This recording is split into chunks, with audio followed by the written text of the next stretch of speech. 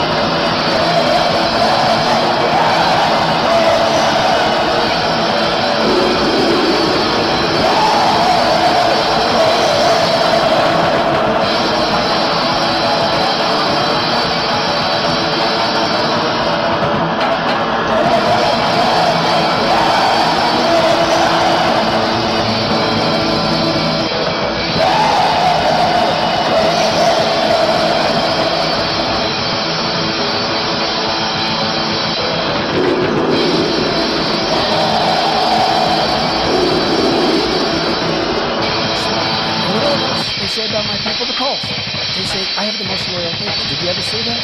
Where I could stand in the middle of Fifth Avenue and shoot somebody and I wouldn't lose any voters, okay?